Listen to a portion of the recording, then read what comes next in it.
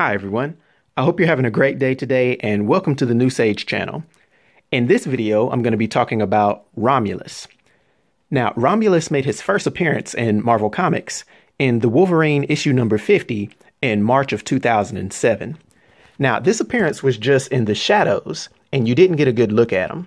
His first full appearance was in Wolverine Origins number 39 in August of 2009. Now, Romulus is a functionally immortal being that stands at 7 feet tall and weighs 300 pounds. Most of the time, his eyes are depicted as being red, and he has black hair.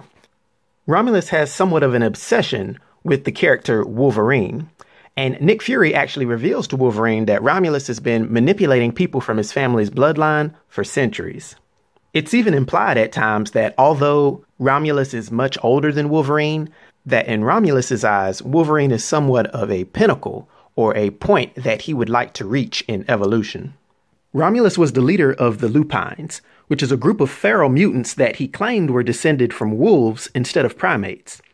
Thousands of years old, he was also the emperor of Rome, and in the 1940s he murdered Wolverine's wife, Itsu, and cut the infant Daken from her womb, raising and training him, and then pitting him against his father, Wolverine, to see which one of them would come out victorious. Wolverine finally had Cloak trap Romulus in the Dark Force dimension, but Sabretooth broke him out. The twin sister of Romulus, Remus, actually helped Wolverine capture him again. Now, very little is known about the full extent of Romulus's powers, and as with Wolverine, Romulus does display uh, an accelerated healing factor that allows him to rapidly regenerate damaged or destroyed tissue with a lot greater speed and efficiency than normal humans. Romulus's healing factor also grants him virtual immunity to any known diseases and renders him highly resistant to most forms of drugs. It also gives him a greatly extended lifespan by slowing his natural aging process to an extraordinary amount. He actually claims to be tens of thousands of years old. His senses of sight, smell, and hearing are also enhanced to unknown superhuman levels. Romulus also possesses some degree of superhuman strength, the limits of which aren't fully known either, though it has been shown that is sufficient enough to lift Wolverine by one arm over his head and then throw him across a room. His speed, agility, reflexes are similarly enhanced as well.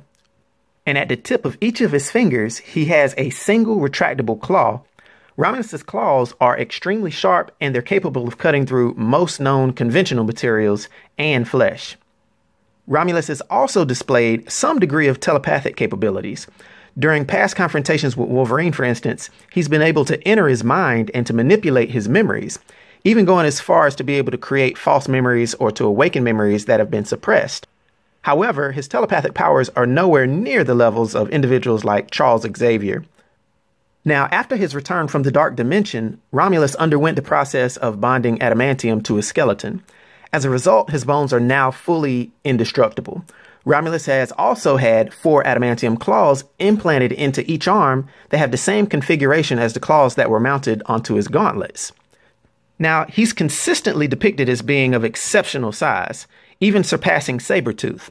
He also speaks with a unique accent which, according to Wolverine, sounds partly Italian and partly Japanese. Now, this makes him a very intriguing character. He has made a few elusive appearances in the comic books, and I'd like to see more from him. Because of his powers and abilities and his influence on the Marvel Universe, in a rating of 1 to 10, I'll give him a rating of 7, which is a master rating. I hope everyone enjoyed the video. I'll talk to you next time. Be sure to like and subscribe to the new sage.